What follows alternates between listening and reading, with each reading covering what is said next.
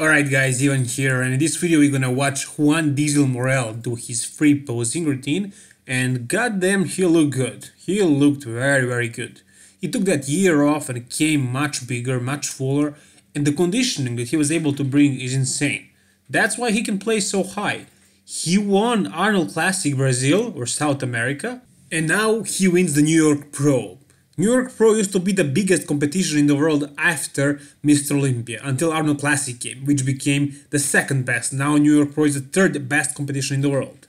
Although not necessarily, and especially not this year. This year we had Arnold Classic Australia, which was a much better competition than this. But Juan was able to bring something special to the table. I mean, the combination of fullness, look at his back, and the conditioning was really, really good his flaw, his biggest flaw, and definitely very, very big problem for him are his quads.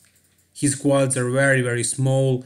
They are probably bigger than 90% of the population, but compared to his humongous upper body, they look small. It's just the shape of them, not so much about the size. From these side shots, you cannot really see it. From the back shots, you can notice it a little bit, but not as much as you can notice from, from the front and then his back. His back is full as a house. This is really, really good. Many of these guys that placed behind him had some really, really good legs, but still they weren't able to beat him because of his conditioning and the development of his upper body. So what can happen at the Mr. Olympia? Can he actually crack the top 6? If one of those guys, Big Ramy or Dexter or probably maybe Bonac probably won't do it. Sean definitely won't do it.